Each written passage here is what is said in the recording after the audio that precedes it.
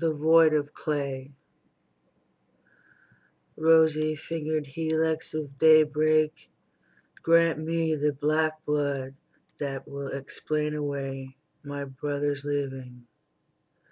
Medusa born melanin stone steals the meerschaum artist's medium whenever I hear or see the word clay. New England black January silt frozen ponds lay cracked. Crystal brittle bark of blizzard blown trees possess ten times more strength than my own two limbs, for no longer can we walk side by side.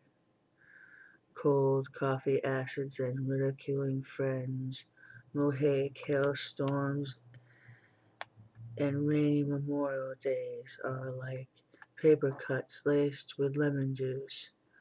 My every trivial pain is accompanied by his voided double bass bars refrain. Yes, the old lowly earthworms can pry open my eyelids, but my blue irises, which used to be green, cannot be forced open to see. His sun pigment has been drained from me.